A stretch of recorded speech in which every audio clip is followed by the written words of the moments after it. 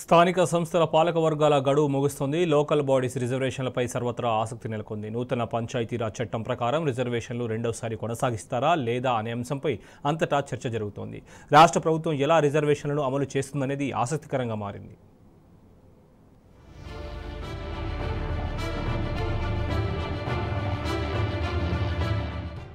రాష్ట్రంలో స్థానిక సంస్థల పాలక వర్గాల గడువు ముగుస్తూ ఉండడంతో రిజర్వేషన్లపై ఆసక్తి నెలకొంది. తెలంగాణలో నూతన పంచాయతీరాజ్ చట్టాన్ని తీసుకొచ్చాక ఒకసారి అమలు చేసిన రిజర్వేషన్లను రెండుసార్లు కొనసాగించాలని చట్టంలో పొందుపరిచారు. ఈ చట్టం వచ్చాక రాష్ట్రంలో కొత్త జిల్లాలు మండలాలు గ్రామ పంచాయతీలు పెద్ద సంఖ్యలో ఏర్పాటయ్యాయి. ఈ నేపథ్యంలో కొత్త వాటికి రిజర్వేషన్ ఎలా అమలు చేస్తారనే దానిపై చర్చ మొదలైంది. చట్టంలో ఒకే రిజర్వేషన్ను రెండు టర్ములు అమలు చేయాలని ఉండడంతో కొత్త స్థానిక సంస్థల సంగతేమిటి? బీసీలకు ఎంత శాతం రిజర్వేషన్లు అమలు చేస్తారు? మొత్తంగా స్థానిక సంస్థల రిజర్వేషన్లు ఎలా ఉంటాయి? అనే అంశాలపై రాజకీయ నాయకుల్లో జోరుగా చర్చ సాగుతున్నది.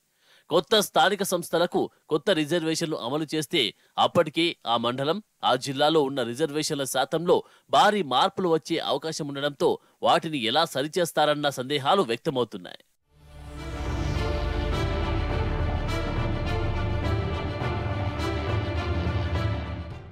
స్థానిక సంస్థల రిజర్వేషన్లపై నిపుణులు అధికారులు మాత్రం భిన్న వాదనలు వినిపిస్తున్నారు.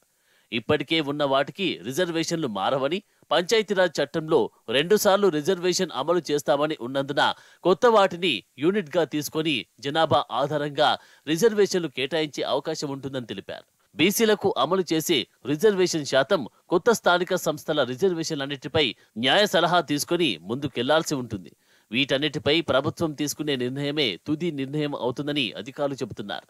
ప్రభుత్వానికి ఎలాంటి నిర్ణయమైనా తీసుకునే అధికారం ఉన్నదని దానికి అనుగుణంగా చట్ట సవరణ చేస్తే సరిపోతుందని అంటున్నారు. ఇందులో ప్రభుత్వం రాజకీయంగా తీసుకునే నిర్ణయమే అన్ని సందేహాలు అనుమానాలకు సమాధానం అవుతుందని స్పష్టం చేస్తున్నారు. చట్టాలను సవరించే అధికారం వెసులుబాటు ఏ ప్రభుత్వానికైనా ఉంటుందని గుర్తుకు చేసుకున్నారు. ఈ నేపథ్యంలో ప్రభుత్వ నిర్ణయంపై ఉత్కంఠ నెలకొంది. రాష్ట్రంలో బీసీల జనాభాను లెక్కించి వారికి స్థానిక సంస్థల్లో నలభై రెండు శాతం రిజర్వేషన్లు అమలు చేస్తామని అధికార కాంగ్రెస్ పార్టీ తన మేనిఫెస్టోలో ప్రకటించింది. కానీ మొత్తం రిజర్వేషన్లు యాభై శాతం మించరాదని సుప్రీంకోర్టు స్పష్టంగా తీర్పిచ్చింది. ఈ నేపథ్యంలో కాంగ్రెస్ పార్టీ తన హామీని ఏ విధంగా అమలు చేస్తుందన్న దానిపై సర్వత్రా ఆసక్తి నెలకొంది.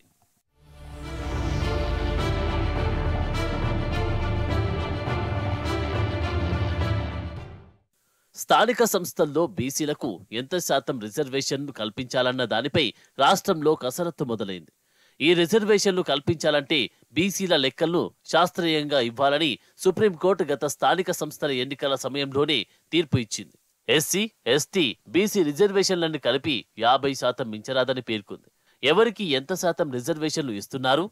అందుకు ప్రాతిపాదిక ఏమిటి అనే వివరాలను సమర్పించాలని సర్వోన్నత న్యాయస్థానం స్పష్టం చేయడంతో ఆ బాధ్యతలను గత బీఆర్ఎస్ ప్రభుత్వం బీసీ కమిషన్కు అప్పగించింది.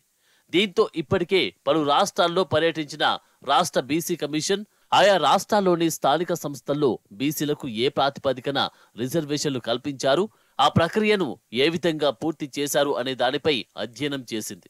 అనంతరం రాష్ట్రంలో లెక్కలు తీయడంలో నిమగ్నమైన బీసీ కమిషన్ రెండు వేల ఆరు రెండు వేల పద్నాలుగు రెండు వేల పంతొమ్మిది ఎన్నికల్లో స్థానిక సంస్థలకు ఎవరెవరు ఏ కులాలు ఉపకులాల వారు ప్రాతినిధ్యం వహించారన్న వివరాలను ఉపకులాల వారు ప్రాతినిధ్యం వహించారన్న వివరాలను తెలియజేయాలని దీంతో వార్డు సభ్యులు ఉప సర్పంచులు సర్పంచులు ఎంపీటీసీ సభ్యులు వైస్ ఎంపీపీలు ఎంపీపీలు జడ్పీటీసీ సభ్యులు జడ్పీ వైస్ చైర్మన్లు జడ్పీ చైర్మన్ల వివరాలతో పాటు వారి కులాలు ఉపకులాలు విద్యార్హతలు వృత్తి ఎన్నికల నాటికి వారి వయస్సు వారి ప్రాతినిధ్యం వహించిన సంవత్సరం తదితర వివరాలను పంపించాలని పంచాయతీరాజ్ డైరెక్టర్ హనుమంతరావు అన్ని జిల్లాల పంచాయతీ అధికారులకు జిల్లా పరిషత్ సీఈఓలకు స్పష్టం చేశారు.